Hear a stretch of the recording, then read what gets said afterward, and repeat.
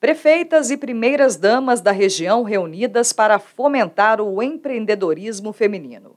Esse é o objetivo da Anvale Mulher, projeto da Associação de Municípios do Vale do Paraíba e Litoral Norte, que busca promover a capacitação profissional. Nós, a Anvale, na verdade, né, que é a Associação do Vale do Paraíba, de prefeitos, ela tem um braço que vai ser a Anvale Mulher hoje, e eu tô, vou assumir a coordenação para que a gente possa trabalhar é, as mulheres na sociedade. Então, mulheres de vulnerabilidade, mulher, mulheres que não conseguem é, um trabalho é, fixo em alguma empresa, em algum lugar, e ela precisa ficar em casa, cuidar dos filhos, cuidar da casa.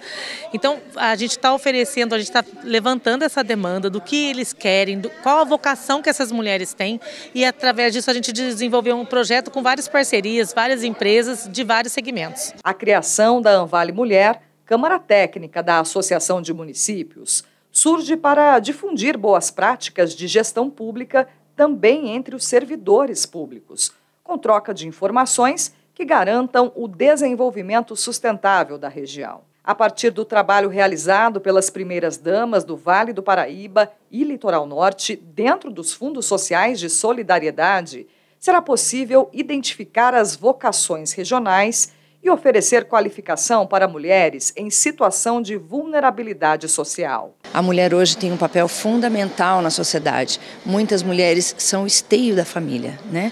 Elas estão à frente da casa, das despesas da casa, e a cada dia a gente precisa investir mais na qualificação, na capacitação.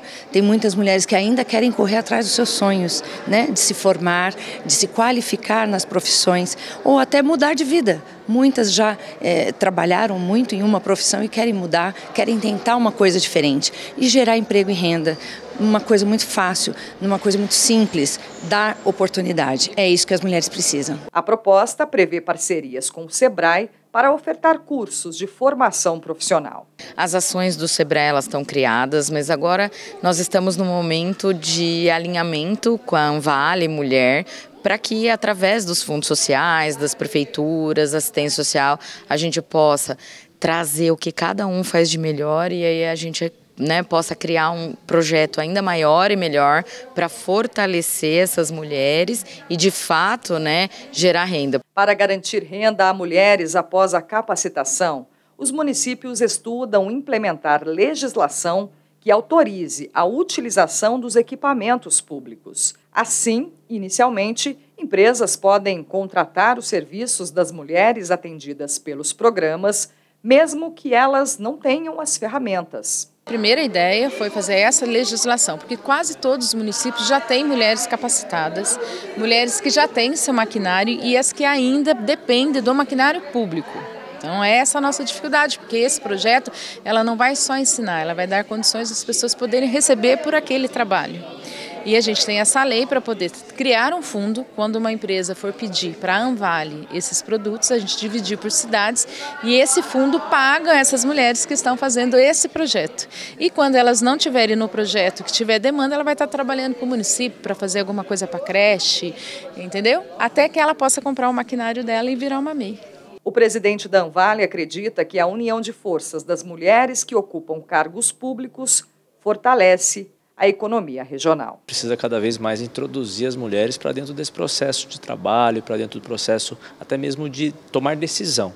Né? Então, nós tivemos a iniciativa de uma colaboradora nossa, da Anvale Eliane, que sempre idealizou né, essa formatação da Câmara Técnica Anvale Mulher, para que nós pudéssemos trazer para dentro da Anvale, juntamente com os respectivos prefeitos, as primeiras damas, as presidentes de fundo social, para que aí, a partir dessas políticas públicas voltadas à mulher, desse empoderamento, né, dessa autonomia, a gente conseguir trazer lá na ponta, em cada município que compõe a Anvale, uma melhoria na qualidade de vida e também de geração de emprego e renda. Para que promover uma qualidade de vida melhor para a família. Né?